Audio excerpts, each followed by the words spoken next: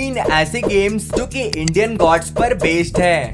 Game number one Smite इस game में काफ़ी सारे हिंदू गॉड्स एंड डीमंस के कैरेक्टर्स हैं, जैसे कि गणेशा काली अग्नि रावणा यमना बक्कासुरा कुंभकर्णा रामा शिवा एक्सेट्रा इस गेम को इंडिया कंट्री में बैन कर दिया गया था बिकॉज़ ये हिंदुओं के रिलीजियस सेंटिमेंट्स को हर्ट कर रहा था।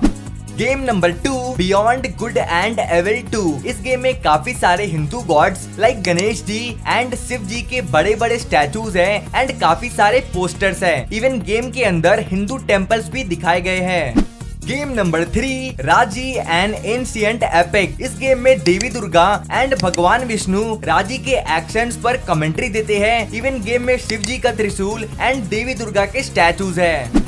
टेन गेम्स जो इंडियन गॉड्स पर बेस्ड है, उस पर मैंने एक डेडिकेटेड वीडियो बनाया है, जिसका लिंक आपको कॉमेंट बॉक्स एंड डिस्क्रिप्शन में मिल जाएगा। चेक ज़रूर करना।